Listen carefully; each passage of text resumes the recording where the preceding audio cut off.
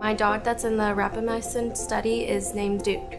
I work at the hospital at the small animal department in the ER, so I wanted to do the study just because I see medicine work every single day.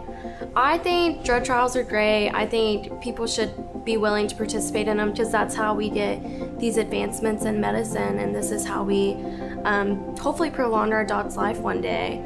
So I think they should try it. I think they should do a little research on it just because I think trials are predisposed to like thinking like, oh, this is gonna be hurting the animal or be harmful to the animal, but that's not the case at all.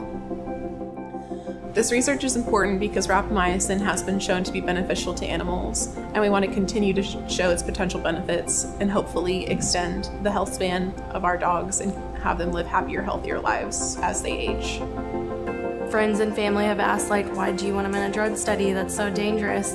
But they don't understand like the whole backside of it. Like we need drug studies to see if this can ultimately help animals in the future. And like it could be possibly helping him right now. Um, it's really important that we have a large number of dogs to evaluate the efficacy of the drug. It's promoting the health span of dogs and they also get a variety of lab work and exams being involved in the study at no cost to them.